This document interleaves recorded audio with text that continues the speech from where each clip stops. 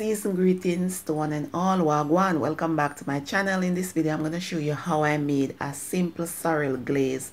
That you can use to glaze your chicken or your ham or just about anything that you want to use it to do. So i have some freshly steeped sorrel that i'm going to use to make the glaze.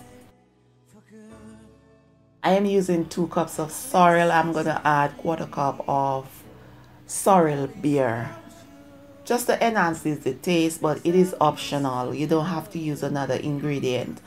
But if you're using another ingredient just make sure that it is not strong enough to overpower the taste of the sorrel because it is sorrel glaze. So you want sorrel to be at the forefront. You want to taste the sorrel when you're tasting the glaze right? So now i am adding brown sugar. Brown sugar will create that sticky texture yeah that's what you want. If you use honey it will not give you the result that you want.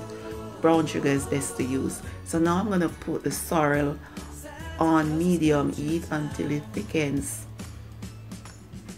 Right? So do not use flour nor cornstarch to help thicken the sorrel let it thickens naturally. You don't want that in your glaze man.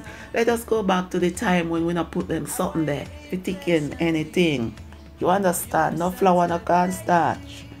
You understand? It thickens naturally and this is what it looks like. And remember when it cools it's gonna get even thicker.